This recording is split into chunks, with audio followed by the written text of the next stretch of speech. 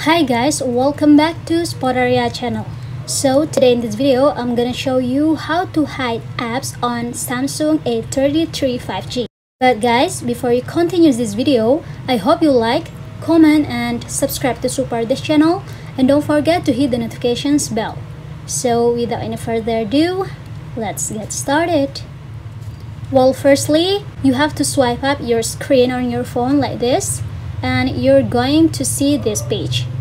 And now at the top you will see the search bar here and at the right side of the search bar you will see the three dots button like this and you just have to tap on it.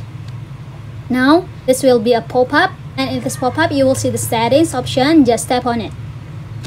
After that at the bottom here you will see hide apps option just go ahead I'm gonna tap on it right now like this and yeah now you can select the apps that you want to hide. For example, here I'm gonna hide my um, my Google apps here.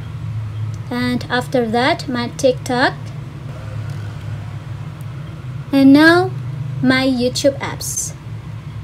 And if you think it's done you can see the done button here at the bottom. Just tap on it. And yeah it's finished. You can go back to the page now you cannot find the apps that you want to hide. Earlier, I had my YouTube, my TikTok, and my Google's app. Now, I cannot find it here. There's nothing. And in this folder, also nothing.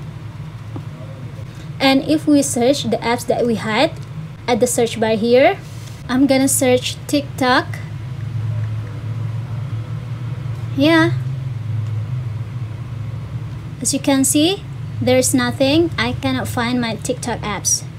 But here I can see my TikTok info. I'm gonna tap on it. And yeah only the info that we can find. So if we wanna unhide the apps you can do the same thing by tap on the three dots button at the top here and go to the settings. And now just tap on the hide apps again. After that as you can see here, the apps that I have hide earlier, I'm gonna unhide it by tap on the apps like this, like this. And now I'm gonna tap on done again and I'm gonna go back.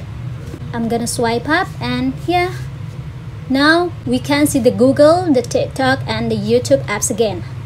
So yeah guys, that's it. I think it's enough. Thanks for watching this video. I hope this video will help you don't forget to leave your comment in the column below. I'll see you soon in the next one and good luck!